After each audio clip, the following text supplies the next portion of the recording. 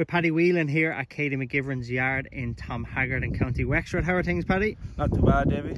Good. Um, this new gallop, that Katie always had, had the round gallop uh, three years now, I think, and now she's added the straight gallop onto the round gallop, which you've constructed. Yeah, 2018 we put in the round gallop, two furlongs, and we're just finished the two and a half furlong um, straight gallop.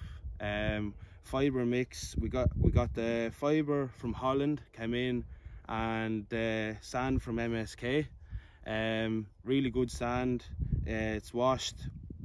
Um, turned out very well. Okay, so you get the sand from Mick and Joe Kelly, Yeah. and then you do all the construction part of the gallop yourself then. Yeah, that's it. And uh, how long would a gallop like this, two and a half furlongs, adding on to a round gallop, how long would that roughly take you? Um, start to finish, it took two weeks, and then we had to put up the white rail and the fence uh, another week or so. It's a huge asset then to Katie training breezers now for come come the new year then. It's brilliant, yeah, it's brilliant. Uh, she doesn't have to travel away, she's saving so much time. Um, it's great, really. Tell people a little bit who don't understand about you just throw sand on the gallop. It's not just as simple as that. And, No. and the fibre then. Tell us a little bit about it. So basically, yeah, we, we put down six inches of sand. We came along then with the fibres uh, and mixed the fibres on site and worked it in then.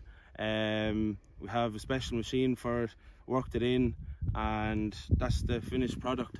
Okay. And uh, I seen you on the tractor beforehand then. What were you doing with that? You weren't Yeah. just harrowing it then, you yeah, were we were, where I was, I was just giving it a freshen up, working the fibres in.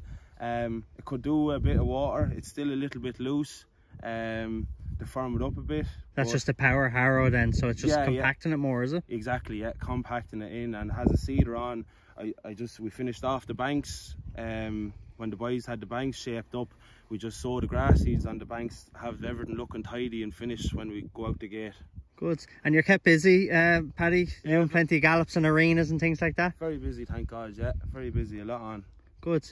And um, if anybody can contact you, you have a website. Um, paddywhelan.ie yeah And Um, so you'll construct a gallop, and then you, like you said, uh, you get the fibre from Holland, and you buy the sand then from MSK Silver yeah, yeah, Sands. that's it Good. Um, you've, you're in this game long enough, but your father's in it a very long time. father's in it 30 40 years maybe yeah and uh, i'm kind of just continuing on watch your back in case Owen runs you over.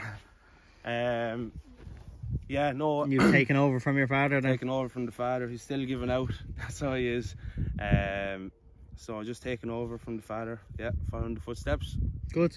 Well, uh, fair play on this. It's a it's a great job, and um, I'm sure we'll see you soon enough again. Hopefully. Thank you.